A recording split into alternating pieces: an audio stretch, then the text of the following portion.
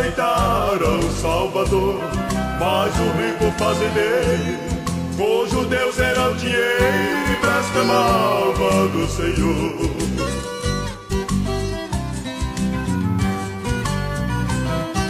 Aquele servo de Deus ao fazendeiro pediu permissão para realizar um batismo no seu rio. Onde cedeu. Era bebedor o lugar, por maldade ele escolheu. Preparava um abismo, próxima data do batismo, chamou o empregado seu. Rafael, sim senhor, patrão. Preste bem atenção no que vou te dizer. Separe dez centenas de gado para o outro pasto e quero que trate-os com ração e sal por três dias. Porque na hora do batismo dos crentes, este gado eu vou soltar. Quero ver se o Deus que eles pregam, com tanta ousadia, poderá escapar. Pois agora chegou a hora da minha vingança contra este povo. Você está ouvindo? Já estou indo, patrão. Pois vai logo. Bem na hora do batismo, o fazendeiro soltou aquele gado sedento pra pisar no pregador.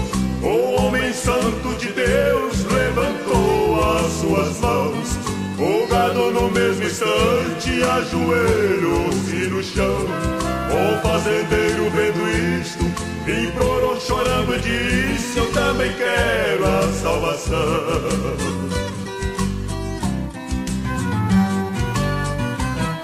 Deus usou seu servo pra falar com o fazendeiro.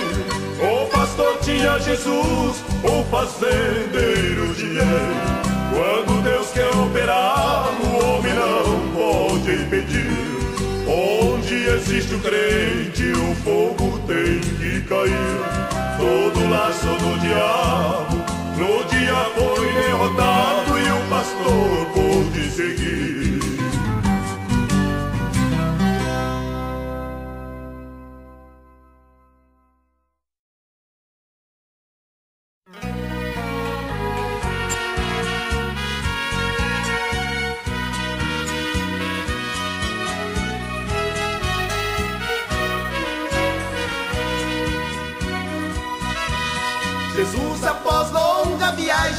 À beira de um poço assento, chegando ali uma mulher com uma talha água banhou.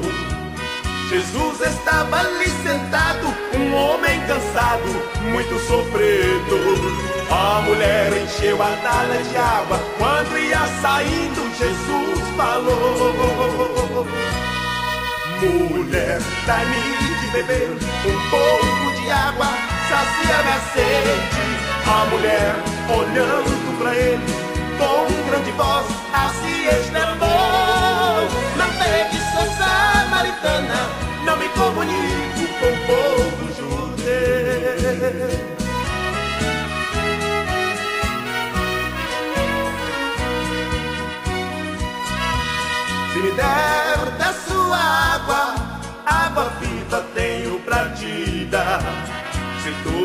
beberes a minha água, nunca mais sede terás.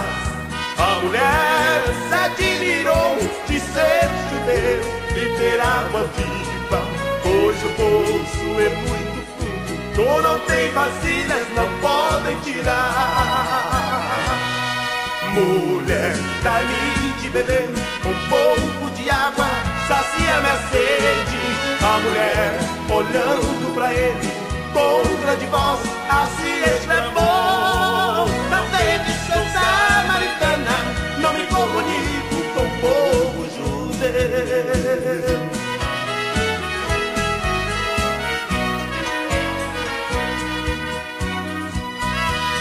Jesus assim falou: Se quer dar minha água, venha me beba.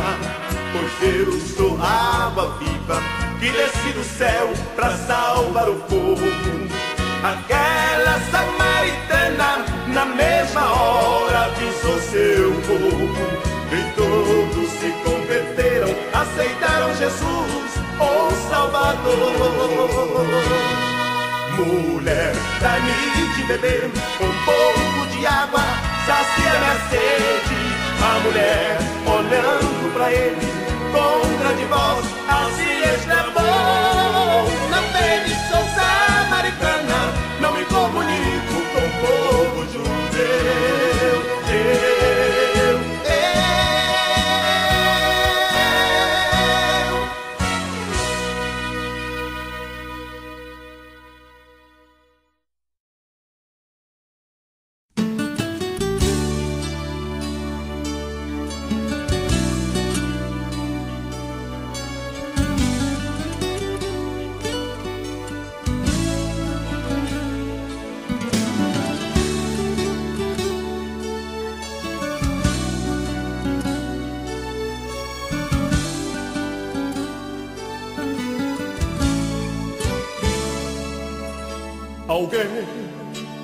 tocou em meu coração. Algo estranho senti em minha vida. Eu andava como um cego, sem o brilho desta luz. Tão sozinho, alguém me encontrou. Tocou-me agora livre estou. Sua glória pude ver, sua luz brilhou.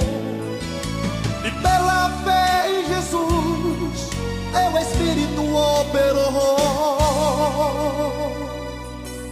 Ah, a me deu paz naquele momento. Desceu sobre mim seu espírito, em mim fez fluir água viva, nele eu renasci. Salvou minha vida, deixei-o entrar de Deus em meu coração.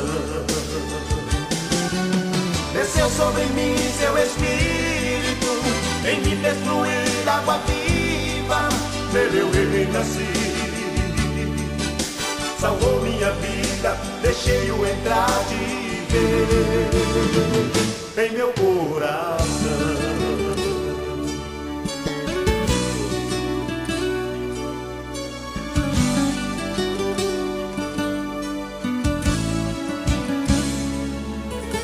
Alguém tocou em meu coração. Algo estranho senti em minha vida. Eu andava como cego, sem o brilho desta luz. Tão sozinho, alguém me encontrou. Tocou-me, agora livre estou. Sua glória pude ver, sua luz brilhou. E pela fé em Jesus, teu Espírito operou. Ah, a me deu paz naquele momento. Desceu sobre mim seu espírito, em mim fez fluir água viva, eu renasci. Salvou minha vida, deixei-o entrar de vez em meu coração. Desceu sobre mim seu espírito, em mim fez fluir água viva, eu renasci salvou minha vida, em meu coração. Desceu sobre mim seu espírito, em mim fez fluir água viva, nele eu renasci. Salvou minha vida, deixei-o entrar de vez em meu coração. Desceu sobre mim seu espírito, destruir a água viva, nele eu renasci. Salvou minha vida, deixei-o entrar de vez em meu coração.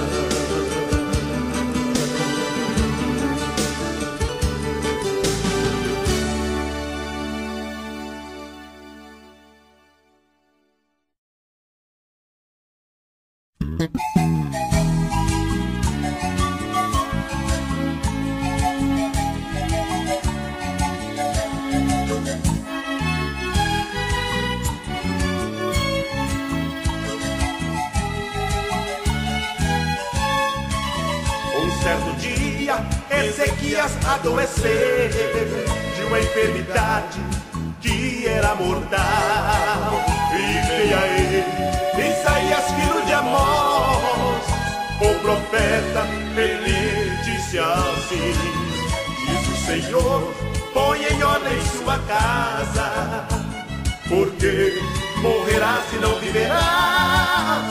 Então virou Ezequias o deu rosto para a parede e orou ao Senhor.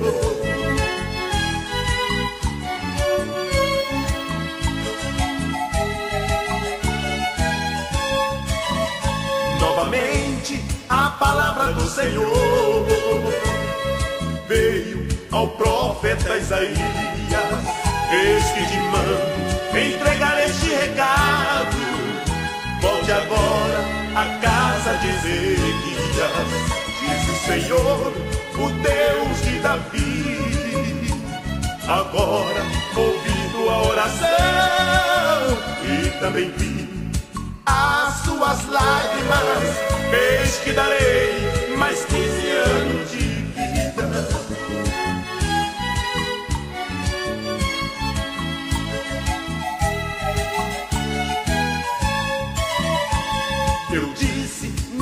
fraquezas dos meus dias, quase que fui ao fundo da sepultura.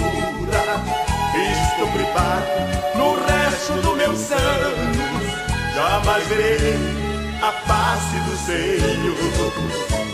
Na terra dos viventes jamais verei os homens, os moradores do mundo. Tempo da minha vida já se foi, só que agora renasci com o Senhor. O tempo da minha vida já se foi, só que agora renasci com o Senhor.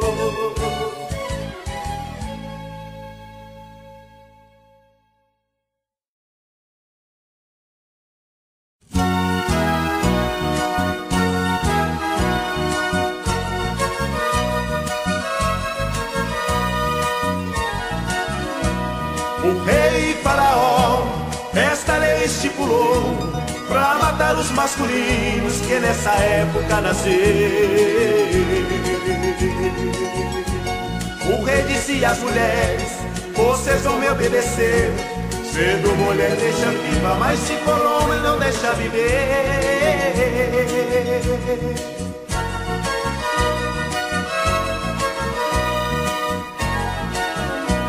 nasceu de uma hebreia, um garoto muito lindo.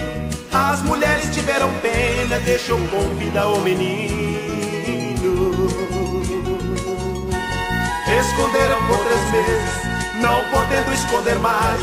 Pôs no cesto de chumbo, soltou para o rio abaixo.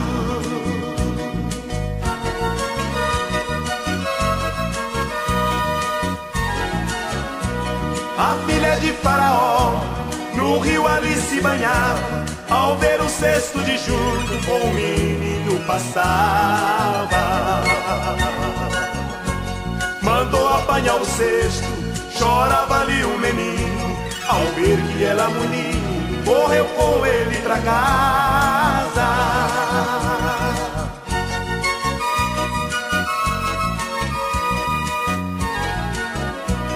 deu o nome de Moisés, porque tiraste da água, mandou procurar alguém para de Moisés cuidar. Encontrou sua própria mãe e de Moisés cuidou. Depois que ele cresceu, a filha de Faraó adotou.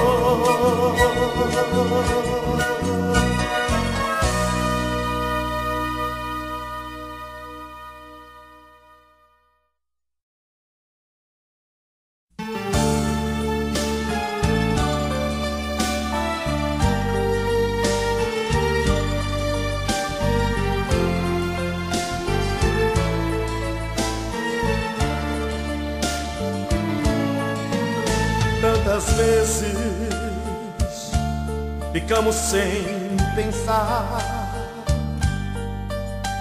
Eu sei A verdade temos que aceitar.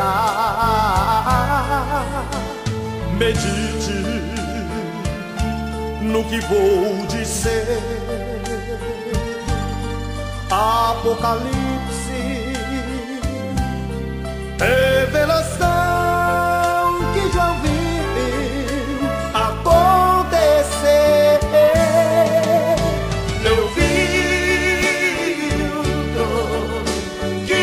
resplandecia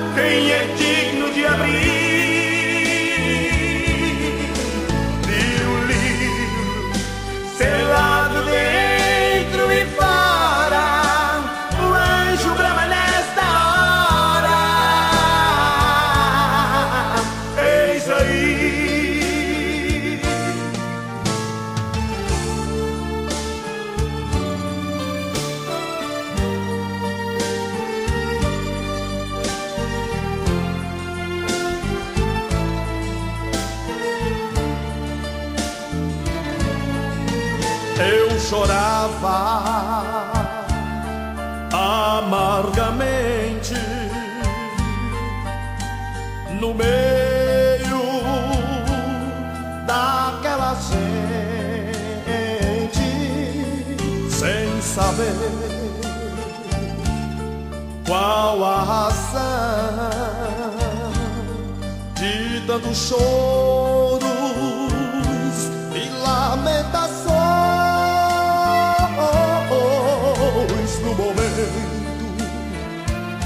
chegou o ancião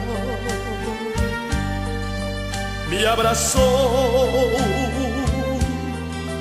Entre as lágrimas e disse eis aí eis aí o leão da tribo de Judá raiz de Davi aquele que foi morto, foi sepultado e desceu até o inferno. Tomou a chave da morte e a chave da vida. Ele ressuscitou e está à direita de Deus para abrir o livro e desatar os seus sete selos. Eu vi um trono que resplandecia quem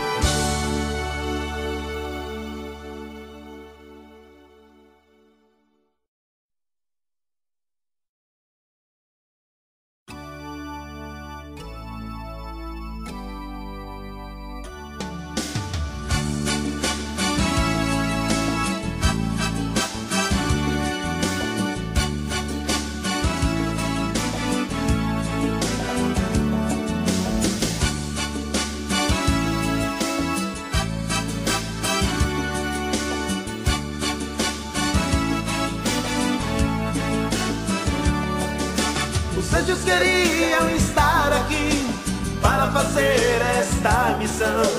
Deus não os permitiu, isto ficou para os cristãos. Você, meu irmão, veja a grande situação. As almas estão perecendo e você, irmão,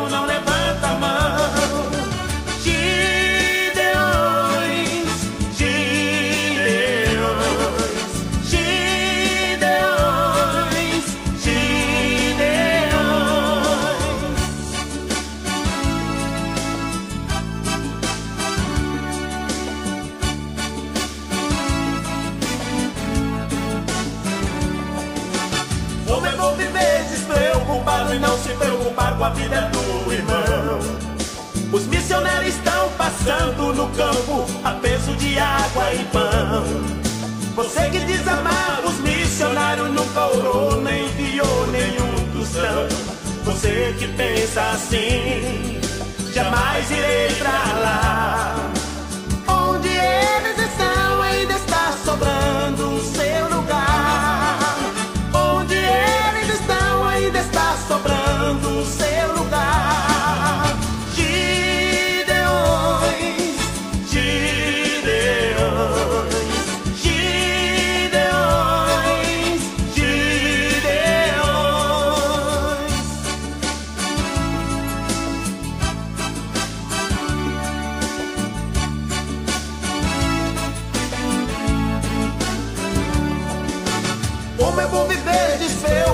e não se preocupar com a vida do irmão. Os missionários estão passando no campo a peso de água e pão. Você que diz amar os missionários nunca orou nem enviou nenhum tostão. Você que pensa assim, jamais irei pra lá. Onde eles estão ainda está sobrando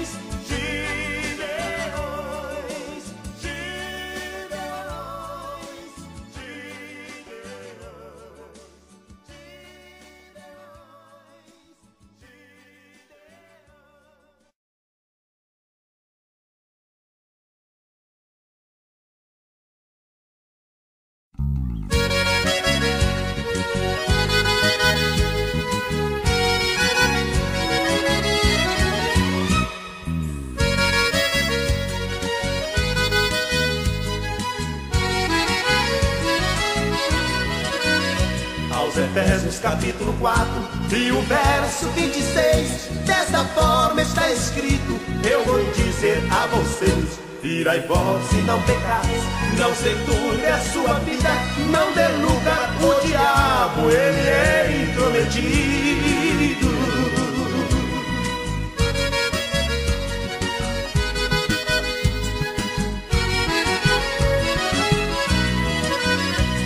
Examina as escrituras pra não ficar confundidos. Ficarão de fora os cães e os que cometem mentira. Também ricos feiticeiros e todos que prostituem. Ficarão os idólatras do seu Deus é uma escultura.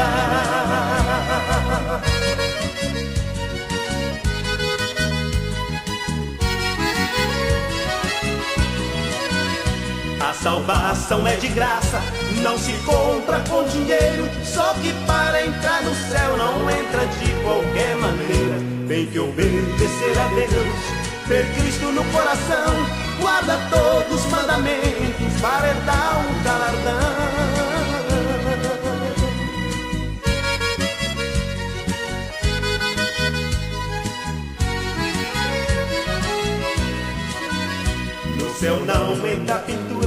nem pulseira e nem anel. Tem um guarda bem armado ao lado da porta do céu. Pra poder entrar no céu, não precisa ter beleza. Também lá no céu não entra mulher com brinco na orelha. Naquele dia o Senhor reprovará os seus defeitos, as correntes e pinturas e toda coisa imperfeita. Se nós falamos da Bíblia, temos que sermos sujeitos. Só que pra entrar no céu temos que ser varões perfeitos.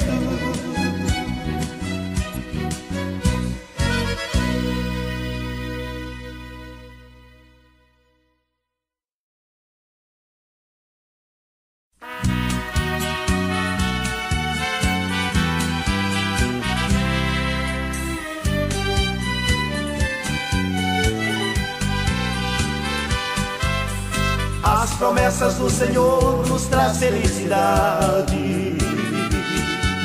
Meu pensamento, meu destino está em Suas mãos. Depois que eu encontrei esta verdade, deu vida à minha vida, nova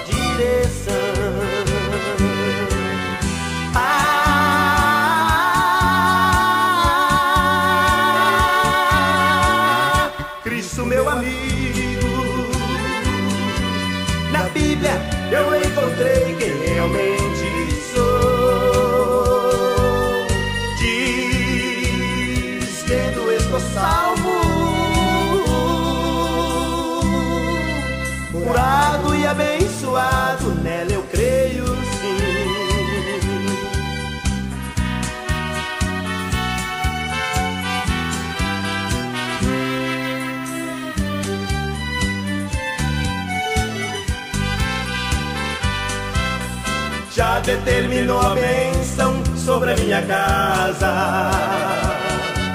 Em meu celeiro nada nunca me faltará. Em tudo que minhas mãos tocarem,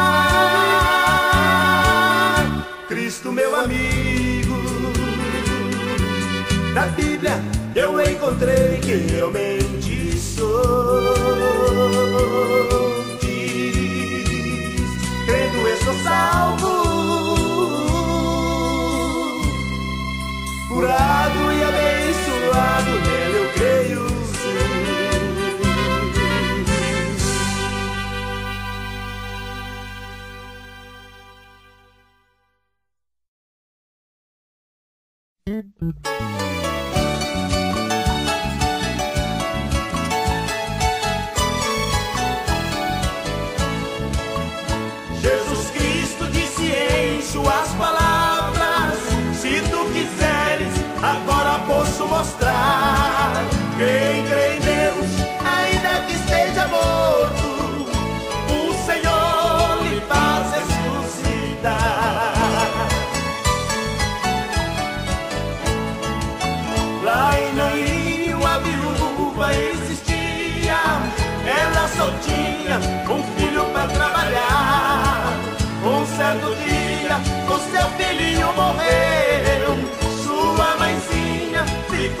A